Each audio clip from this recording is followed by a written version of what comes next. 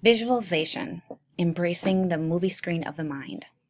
So this is a very important topic uh, for us to consider when thinking about reading comprehension. Um, not only because uh, our culture is increasingly a visual culture, uh, in which communication is presented in visual ways and visual representation has a high currency, but also because of the increasing use of digital media to communicate. Um, if we think of how Facebook and the Facebook feed has become a huge forum for sharing video files. We see now that video is definitely a is a is an important form of communication, not only to share, but also people are creating video texts quite easily. So it's um, visual texts are much more in circulation. So something for us to consider definitely when thinking about supporting comprehension. While schools definitely tend to be more um, print centric and not have as many visual texts, it's it's helpful for us to think about how we can build on our visual culture and the strengths that our students have with visual culture to help support them in the more um, print-based forms of reading and making meaning. So this lecture isn't going to be so much about visual literacy, um, but more so about how we can tap into the powers of visualization to aid and strengthen learning. So they definitely overlap in ways, but this isn't necessarily going to be a definition of what visual literacy is. It's really about visualization as a tool, a support system that we can use. So what is visualization in terms of learning? Well, if we think about visualization for learning, we can think about it in two ways. We can think about it as internal and ex external. So we have internal visualization, and this was discussed quite a bit in the reading for this week, but internal visualization being um, that which is happening in our mind as we read through a text, as we um, look at an, um, a landscape, etc. What are the different images um, or visual stimuli that pop up in our mind. This is thinking about that. So when we hear the word butterfly, what is the first thing that you think of? When you hear the word mariposa, what do you think of? So depending on your language, depending on your prior knowledge, etc., these words will trigger different visual imageries internally. So keeping in mind that there is much visualization happening inside our students' minds as we are teaching is a key component too to think about.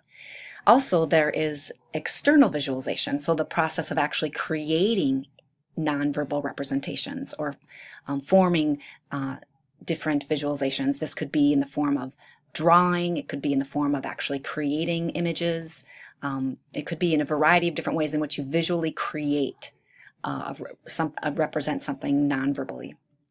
So both of these two types of visualization work together um, and can become come at can be used to support comprehension. So how does all of this visualization help understanding? So much of the visualization and learning is based on dual coding theory.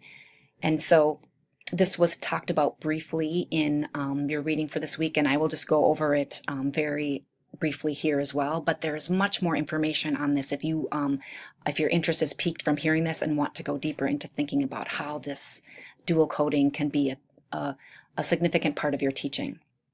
But basically, dual coding theory is presenting the idea that verbal and nonverbal information are processed in separate but interconnected systems of the brain. And so each of these systems of representation, um, whether it's verbal or nonverbal, are coded in different ways in the working memory. And so basically your, your brain works differently to code these different um, symbol systems. So the ability then to code information in multiple code systems actually increases your chance chances of remembering that info that information. So if we think of if we think of the word dog that we might see on the page of a book, if you have an image in your mind of a dog already established, that will help you make meaning of the word dog. However, if you don't have an image in your mind of a dog, it might, um, your ability to make meaning with use of that word might be less. However, also um, to make an auditory connection, if you hear, if you hear the, the chain or the, the, the leash or the jingle of a collar on a dog, right away, depending on what your previous experiences are and your prior knowledge may be, you might instantly think of the word dog. You might actually see the word dog in your in your mind, and you might see an image of dog. So different stimuli um, are definitely interconnected and amplify our understanding, but they are coded differently. And so if your brain has to code things in multiple ways, your chances of remembering are better, as well as you your ability to have more complex understandings of things in a more sophisticated schema related to that topic. So the idea of dual code coding theory is definitely intensified when we consider um, multimodal texts and multimedia texts, which are definitely multimodal. And what I mean by multimodal is they, they have multiple modes of expression in them, image, gesture, music, written language, spoken language, etc. All of those symbol systems or those sign systems are happening all at once. And so there's definitely um, dual coding happening when we are taking in a multimodal multimedia text. So when we actually are doing some of this multimodal composing or transferring um, our understanding of something from one mode to another, that is the process of transmediation. So that's when we are translating perhaps a verbal understanding of a text to a visual understanding of a text. And so when I can, when I think of the most commonly um, understood understood transmediations, we can think of a of a movie adaptation of a book. So there you are taking a very verbal print-based text and you are translating it to a very um, visually rich, movement rich, auditory rich text.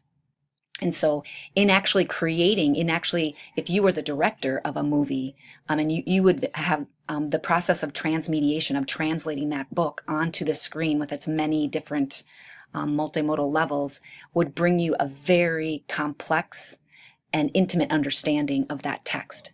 And so that is one of the reasons to consider having your students actually create images, actually do some visualization related to some of the text that you're working with, because by going through the process of transmediation, it's actually intensifying their understanding, deepening their knowledge of those concepts of what they're doing, their visualization. And that's why we are, in fact, going to have are closing our semester with a visualization project in which you are visually representing uh, some concept within your inquiry blog topic. So we are actually going to be doing some of this transmediation, this translation of, of ideas. So now, how does all of this relate to reading? Well, visualization then is a very um, a very important strategy for proficient readers. So basically, um, strong readers create mental images with ease when they are reading. So as they are reading through a book, um, not only do they understand what the words are saying, what the words are saying, but they have a knowledge such that there are many images running across the uh, movie screen of their mind which is helping them to make under helping them to have um, more sophisticated understandings of the ideas. So if you don't, um, if the more prior knowledge you have about the topic, more than likely the more internal images you have. On the other hand, um, if students don't have a lot of prior knowledge about the topic that they are reading, then they are going to, their access to internal images is also going to be very limited, and thus their comprehension will be limited. So using images and using visualization as a pre-reading strategy or during reading strategy can really activate prior knowledge and build up that prior knowledge. And then also using visualization after reading can be a way to definitely, um, through that translation, can be a way to have um, the students, the readers build knowledge so that going further, they have more internal images um, that they can access. And this is important to think about, especially if you're working with um, students that are learning a second language or learning world languages. Visualization is a very um, significant part of um, reading support and vocabulary learning support when learning languages. So we um, also read over a variety of different visualization techniques. So that's what visualization is and how it can support learning and reading. And then for our reading this week, we read some about that and we read over all of these different activities that can be used um, that, that draw on visualization to support to support um, comprehension, both internal visualization and external visualization. Something that was not mentioned in the in the reading, but is still very important, and I wanted to point it out here, is the use of doodling. And so doodling or drawing visual notes of some visual note taking of some sort is actually a visualization strategy that I think all teachers should embrace more. Rather than seeing doodling as a sign of disrespect or the students not being focused, it actually can very much be um, active processing of information that's happening for the student. Even if they're not necessarily drawing a direct representation of what you're saying, it still can be a way to help them process and stay focused on the content. And so in this short uh, TED Talk, you can watch this if you'd like. It's um, it's linked at the end of the lecture, but it um, or right here. But it just talks about the many ways that doodling is actually we should re-see doodling and how we can see doodling as a strategy um, for problem solving in general. But I would like us to also think about how we might encourage doodling as a form of active listening and um, maximizing comprehension of texts in our classrooms.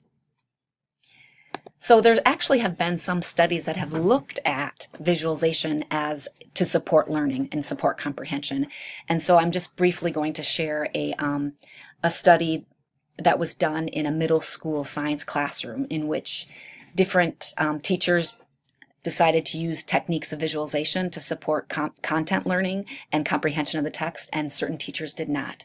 And um, in that study, they found six learning benefits of visualization. First of all, the drawing definitely increased students' engagement in the learning process.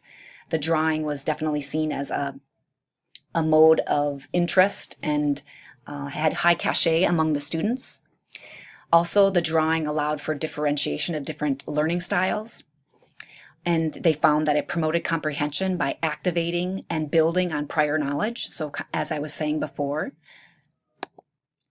it also promoted deeper understanding and reasoning of the content. In fact, they actually linked it to some specific science disciplinary literacies related to reasoning, and the drawing was actually a scaffold for that more complex understanding. So um, it kind of was, they were able to, in the study, they were able to draw on the students. Oh, I draw, draw. Here's a pun there. I didn't mean it to be a pun. So they were actually able to tap into students' strengths with visual um, visualization of drawing to actually have them be stronger in certain scientific reasoning skills.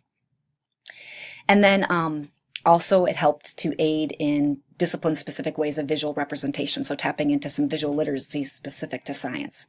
And then as you pray, probably may have already guessed, it was a um, very strong tool for formative assessment. So in getting a sense of what the students knew about a topic beforehand, such as evaporation, they had students draw pictures of evaporation and what they thought of when they um, heard the word evaporation and how it works. So it was a way to get a sense of what they understood about a topic beforehand, but then also what they understood about the reading afterwards.